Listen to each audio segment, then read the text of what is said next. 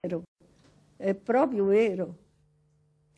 La Croce Rossa Italiana compie 150 anni, un traguardo importante che viene festeggiato con una mostra fotografica nel Museo di Roma in Trastevere. C'è andato per noi Nazario Basili. Un secolo e mezzo di emergenze umanitarie in mostra nella capitale. Nel 1864, con la firma della prima convenzione di Ginevra, nasce il comitato dell'Associazione per il soccorso ai feriti e ai malati in guerra. Oggi sono 600 i comitati presenti nel nostro paese. Una storia che vede l'organizzazione Rosso Crociata impegnata a prestare assistenza in Italia e nel mondo. I terremoti, da quello del 1908 in Sicilia e Calabria, passando per l'Aquila fino all'Emilia Romagna. Quindi i fatti internazionali più recenti, come nel caso di Haiti e della Siria. 80 pannelli divisi in sezioni raccontano un percorso impregnato di umanità.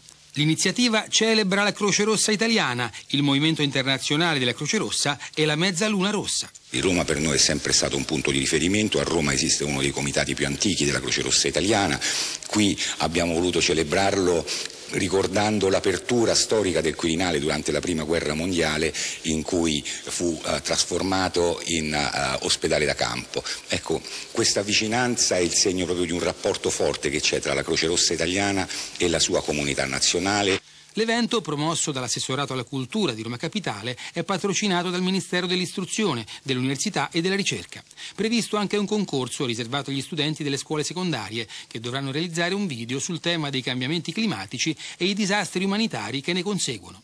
L'esposizione resterà aperta al Museo di Roma in Trastevere fino all'11 maggio.